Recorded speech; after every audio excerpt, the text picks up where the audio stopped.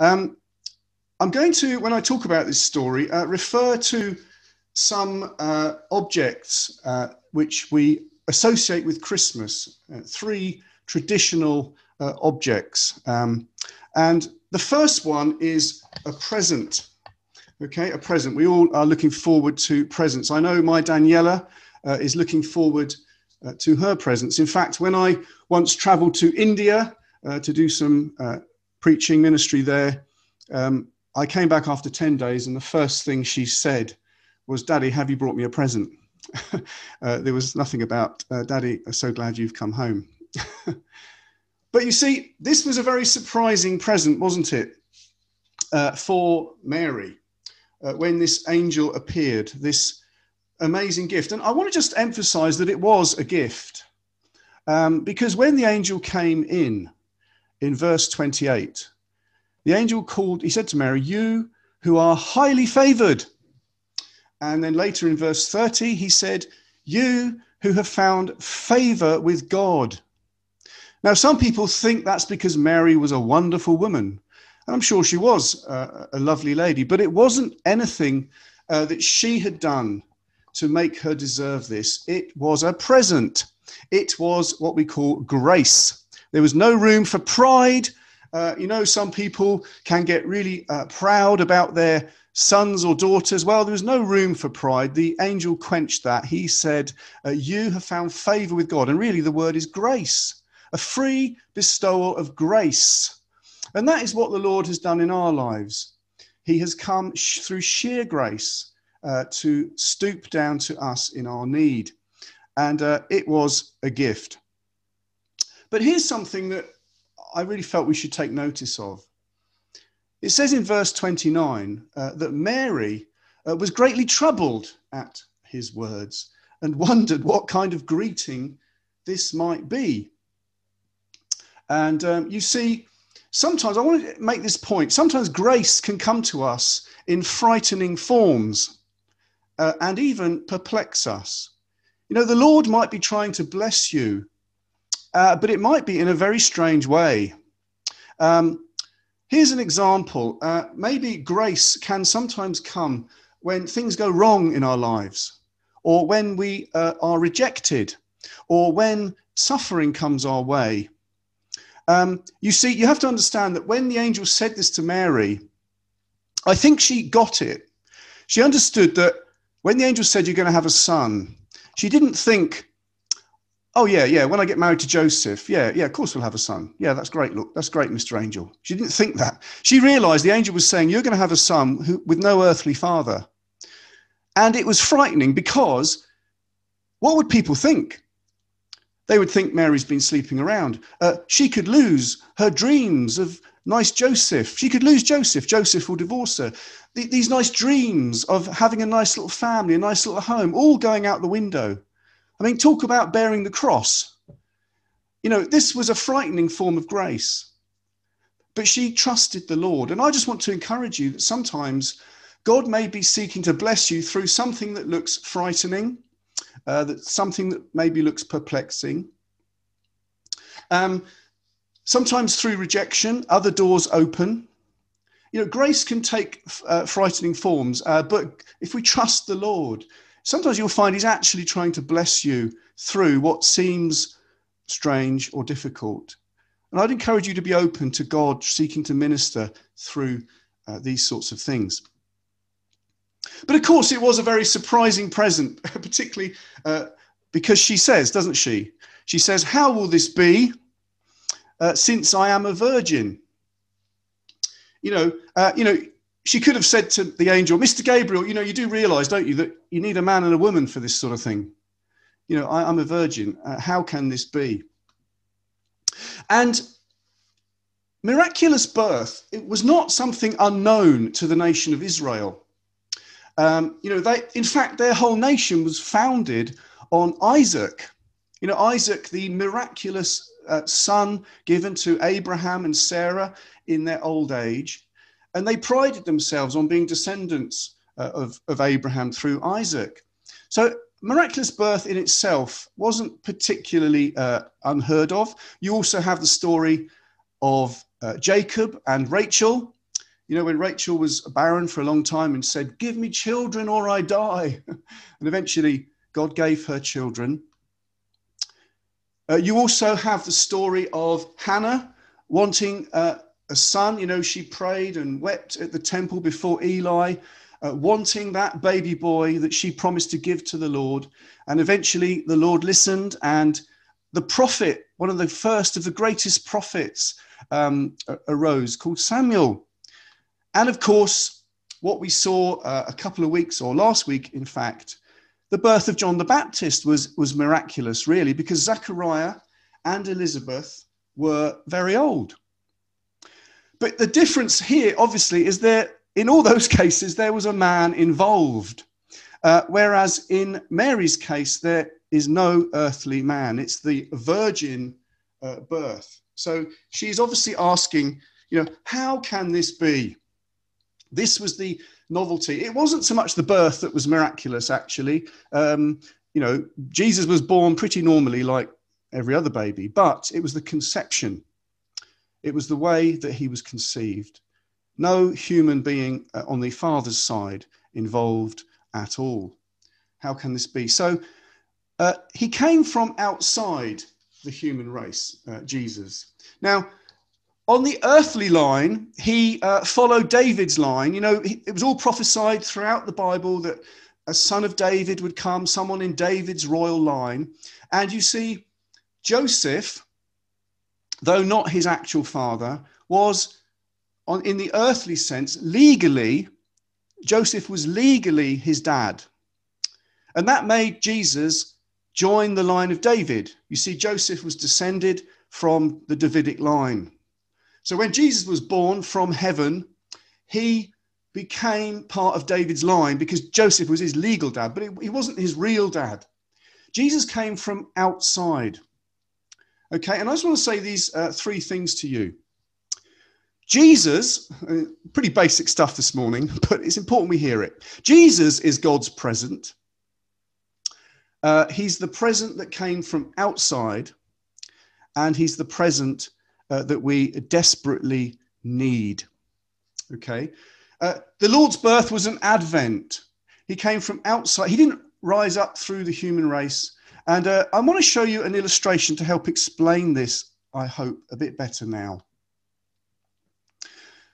I don't know if you recognize uh, that photograph, um, uh, but that, that is Blackwater Estuary um, near a place called Maldon uh, and it's uh, very muddy. And what happens is it gets very, very deep in some parts uh, and very muddy. And there are signs uh, that are put up um, warning people uh, to not cross the mud. But people still uh, cross the mud despite the signs, they ignore them. And um, if you go too deep, you can end up sinking even to your waist um, and being stuck, and then you need uh, rescue. Uh, there is even uh, some once a year um, something called the Maldon Mud Race. I don't know if any of you have ever done this, um, uh, but you see people cross the, the, the, mud and then they end up getting uh, stuck uh, and they need rescue. And sometimes they have to call out one of these guys an air rescue helicopter who can send in somebody who is not covered in mud, who can send in somebody from above, somebody who is not stuck in a mud hole, somebody who has not jumped down into the mud. And you may be asking, why am I telling you this stuff? Well, Jesus Christ uh, never uh, jumped down into the mud. He never sinned. I'm using this as a picture. He was someone who never jumped down into the mud. He was someone who was never covered in mud. Uh, you see, the whole human race did jump down into the mud. You know, uh, when Adam and Eve uh, in the Garden of Eden made that faith uh, transaction with Satan, basically, it says in Romans that we, uh, we were sold uh, to sin and the question arises well, who sold us? Well, Adam. Adam sold out the human race to the devil in the Garden of Eden. It was a, it was a transaction. And he knew exactly what he was doing, which is the horrific thing. And I don't know whether you believe the doctrine of original sin, but that is what is taught in the Bible that everyone coming from Adam is muddy. Everyone who has Adam as their uh, this original ancestor is stuck in the mud. So you need someone to come from outside who is not of that muddy line. And that is why Jesus came as, as a, from above through a virgin birth. Because he, if he had been born of Adam's descendancy, Jesus would have been a sinner like the rest of us. He had to come from outside. You see, people who say the virgin birth's all made up, they're not thinking logically. See, logically, if you're going to bring a savior who's who's is free from the sin of Adam, you need to come, you need to start again from a different source, and that is why Jesus came uh, into uh, to, to, to basically start a new race of people. All those who put their faith in Christ can become a new creation with a new spiritual ancestry. Cut off uh, you can be cut off from your old Adam uh, heritage, that downstream, that download that we are all born with that comes from Adam. So that's why the virgin birth makes perfect logical sense to me, uh, even though it's, I mean, for God, it's not a problem to do. So I've talked about a present, and it's a special present from outside. This is why Christmas changes everything, because our uh, our, our, past can be changed and we can start afresh. The second little um, item I'd like to talk to you about is the crown. You know, you get a crown um, in Christmas crackers, don't you? Uh, I trust when you open your Christmas crackers uh, this year, uh, you know, you'll get this little silly paper crown. And I think the crown um, is there because it remembers perhaps the wise men as well. Uh, but I don't know if you noticed in the readings that Ray read, there's a lot about kingliness in the verses uh, that the angel spoke to Mary.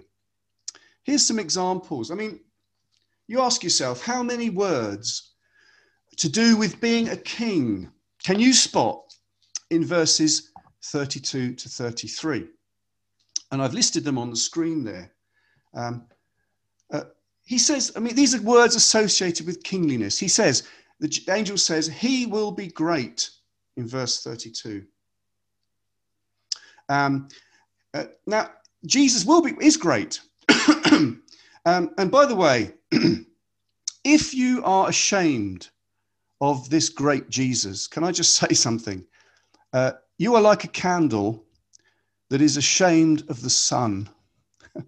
You know, I've put a picture there on the screen of a little candle next to the blazing sun. If you are ashamed of Jesus, it's like a candle being ashamed of the sun because Jesus is great. He is tremendously great. And the angel also said, He will be called the Son of the Most High. Now, Son of the Most High was also a kingly title, sometimes given to kings in ancient Israel, um, according to some of my studies. So again, you've got a kind of kingly reference, but he is the son of the Most High of God. You've got the word throne in verse 32, and you've also got the mention again, as I said, of David. He's born into the David line. Uh, and then in verse 33, it talks about a reign and it talks about his kingdom will never end. So when you um, at Christmas see a paper crown, I want you to remember that this is God's uh, forever, long ago promised king, God's forever king, promised throughout the Bible, the one who will defeat all the enemies of God and the enemies in your life. Now, when Jesus went around doing miracles, you have to understand that they were a sneak preview um, of what will be one day. What I mean by that is things that afflict us now, like death, uh, sickness, evil spirits, chaos, disorder, turbulence in the nations, all those things, Jesus will one day sweep away. And in the Gospels, we get a, a snapshot. You see, I've got a picture of a, a camera there uh, and a, also, uh, if it's not a snapshot, it's like a film trailer. We get a film trailer of what's to come, of this king who can defeat and will defeat all the enemies of God and all the enemies in your life. Um, I've also put a picture on there of someone glimpsing through a hole. Because you see, the Gospels are a glimpse of what this king can do. Jesus has proved, he has proved what he can do as king. And this king uh, was born at Christmas. And this is why Christmas changes everything because the enemies have had uh, their note, their eviction notice has been served. Okay, we still see now death, disease, sickness, and the cynical people will say, "Yeah, but what's changed?" Well, the eviction notice has been served, and Jesus has proved that he can defeat all of God's enemies, and one day he will sweep them all away. It is written in the scripture. Just as it was promised Jesus would come at Christmas, it's promised he will come again. And it happened the first time and is true, and it's going to happen again the second time is true. So when you open your cracker and see your little gold crown, think of the king. That's why things have changed. Satan is no longer uh, running around doing exactly what he wants. He's still got, yeah, he's still, Satan is like a chicken that's had his head cut off, you know? Um, a chicken, when you cut its head off, not that I've done that, I understand it runs around in a frenzy for a long time before it drops dead. Satan is like that. He has had, the cross has dealt with him. He's had the eviction notice served, and Jesus has proved it. And the clock is now ticking. For us, it may seem a long time, but uh, so please understand that Jesus proved he was the king who was stronger than all the enemies. Uh, you know, when it was sickness, um, he had authority. He healed uh, those who were sick. Uh, when he came up against a natural disaster, like uh, on the Sea of Galilee, you know, there was a storm. Uh, and it was a serious storm because even the professional fishermen like Peter and James and John, they were terrified. It was something quite serious and Jesus was stronger than that. And that is a picture of how this king has authority over chaos and over evil forces and over turbulence of the nations. You know, at the moment, the nations are in turmoil, aren't they? With the COVID and with what's going on in America, you know, who's the right president? Uh, the, the, things are in turmoil. But Jesus uh, is the king who will one day bring these things under and to heal. Evil spirits, he cast out evil spirits, didn't he? Went round mopping them up after defeating Satan in the wilderness, in the temptations. He, he bound the strong man in the, the wilderness. He bound the strong man, which is the devil, and he then went round mopping up his lesser demons. And Jesus also has defeated death. Yes, we still die at the moment, but you see in the Gospels, he raised the widow, the widow's son from the village of Nain. He raised Jairus' daughter. He raised Lazarus, who was rotting after four days of being in the grave. And Jesus himself rose. And then in the book of Acts, through Peter and through Paul, other people were raised from the dead by Jesus Christ. So one day, all enemies will be swept away. This is the king we desperately need. He's the only one who can meet our deepest problem and defeat our enemies. And he's the one uh, who can get us out of the mud hole. this is why Christmas changes everything. Now, my last uh, little image is the Advent calendar. The Advent calendar. Now, I hope you're still with me. Uh, the Advent calendar, there are two types, uh, well, three types of Advent calendar. One uh, is the one with uh, chocolates in it. Uh, and, you know, I could tell you a joke about that. Just let me tell you this joke very quickly. Someone said, I'm angry. I've just got home and found all my windows open. They've stolen everything. Those thieves. What kind of selfish person would do that to another person? Especially with Christmas right round the corner. That was my advent calendar. they had no right to open all the windows and steal all my chocolates. so that's one kind of advent calendar. Now, the other kind of advent calendar is the one with pictures in it. I want you to remember this pictures. You know, uh, you get a picture in the advent calendar. Uh, and I want to suggest to you that this story that we've read about uh, the angel appearing to Mary is not only a historical account of Christ's birth, it is a picture of something that God does in this present age. It's a picture of something. Um, before I go any further on that, there's another kind of advent calendar. So we've done, you know, the chocolate one, the pictures one. There's also one that my wife does. Um, my wife has um, these little wooden houses, uh, one for each day of Advent. And when you get to it, you open the house, and inside there is a promise. Uh, this uh, was a promise that my children found yesterday. It's a promise to the children uh, that they will do something on that day. And uh, that promise was fulfilled. Um, pancakes. We promised to make pancakes with them, and we did. And there's Rebecca's pancake. Um, and I want to suggest to you, though, uh, the, what I'm saying on the screen here. Let me read it to you. This scene in Luke 1 26 38 is a true historical record of how Jesus was conceived, but it is not only that, it is also a picture, you know, like in the Advent calendar, and a promise, like in the Advent houses, of the way God brings people to new birth in this present age of grace and truth. It shows how people can conceive Jesus by faith. Um, I'll try and explain what I mean. In the passage that Ray read, uh, we read of a heavenly messenger, don't we? That's Angel Gabriel. Uh, a heavenly messenger. Well, in this current age, who is the heavenly messenger? Well, may I suggest to you it's the preacher. um, when I say heavenly messenger, I mean someone who is sent by God to preach the gospel.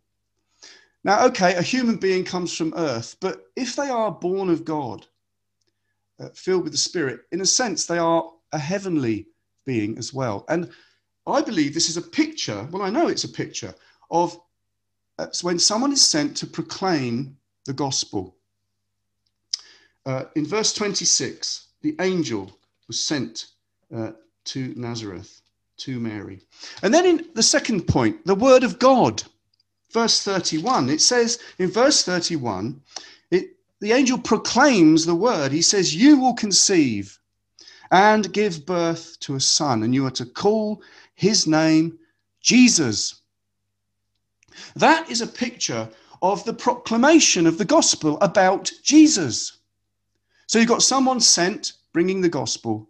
You've got the gospel being proclaimed, the word of God. And then you have what happens in verse 35. The angel says, The Holy Spirit will come on you, and the power of the Most High will overshadow you. And the Holy One to be born will be called the Son of God. When the gospel is preached, this overshadowing of the Spirit can really it's almost like God's wings are protecting you from listening to all the lies of the world, and God is singling you out for salvation. I've had it happen to me. If you think I'm making all this up, when I was at Exeter University, I heard the gospel, and it was as though God was singling me out. He was overshadowing me with, he was putting me up against the wall, and the word of God was coming directly to me, saying, Simon, make your choice. And it's almost like the Lord uh, sent uh, a missionary. I remember hearing a missionary. It was almost like he was sent to preach to me. And then it says the Holy Spirit will come with power. And you know that the word power is the same word in Acts chapter 1, verse 8. In Acts chapter 1, uh, verse 8, it says, You will receive power when the Holy Spirit comes upon you. And when I was at Exeter University and I came and I heard the gospel and, and I believed on Jesus Christ, it was all about Jesus, the death on the cross, Jesus. It, the Holy Spirit came. And I remember in the top hall uh, of Mardon Hall, third floor, uh, in was it 1991 or something like yeah 1991, filled with joy, filled with the Spirit. The Holy Spirit came, but it takes power to bring forth a child of God. It takes power. And I believe the incarnation that we read about here is setting a pattern of how people are born again when they believe on the Lord. But there's one last element in this picture, and that is Mary's response. You see, Mary, uh, beautiful words. She says in verse 38, um, May your words to me be fulfilled, or I am the Lord's servant. May your word be fulfilled. Um, some versions say, Behold, I am the handmaid of the Lord. Be it to me according to your word. And you need to have someone who is willing, who uh, will cooperate, who will surrender humbly to the gospel. That's a very simple point. Um, so I'm going to finish by asking a challenge. Can you say this like Mary? Can you say, Let the Holy Spirit do with me as he pleases? You know, Christmas changes everything because the great king has come, the present who gets us out of the mud. Christmas changes everything because he's the king who can meet our deepest need and defeat our enemies. And Christmas changes everything because the Lord has inaugurated this uh, pattern and picture of new birth. it's not just Jesus. Jesus didn't just come, get born, and go back to heaven. He came, died for us, and made it possible for all of us to be born again. Um, now, most of you or all of you are Christians already, I know. So you might think, well, that's a bit simple. But the challenge I want to leave with you is Mary's response. Let the Holy Spirit do with me as he pleases. We all need to be like Mary. And one last thing to say before we close Mary was a virgin. I'm not saying you've got to be a physical virgin, but in your heart, you have to be virgin to God You've got to look only to Him and say, Lord, I am yours. I'm sold out for you. I am virgin to God. I am looking to you as you're my number one. God, Jesus, you're my number one. I am a virgin in that sense. I'm not um, being unfaithful to you, Lord, by getting really mixed up in the world and, and into sin. I am virgin to God. So that was Mary's response uh, to this wonderful present this King, uh, this salvation that came at Christmas. Okay, let's pray uh, and we'll sing our final song in a moment. Lord, we thank you for this uh, tremendous, uh, powerful picture and promise and reality uh, of what we read in Luke chapter 1. Um, thank you that you are the present that we desperately need. Thank you that you are the King that we desperately need. And thank you that you have brought in this salvation, this uh, picture and promise for all mankind. And I pray you'll help us, Lord, help us, help me to be those who surrender and say, Holy Spirit, do with me as you please. In Jesus' name, Amen. Okay, we are uh, now going to sing. Um, the uh, last song, uh, which is Holy, Holy, Holy. And that is there because all three members were involved uh, in this birth the Father, um, there was the Son, and the Holy Spirit, all involved in the birth of Christ. So we're going to sing Holy, Holy, Holy, thinking about the Trinity. The Lord bless you. Amen.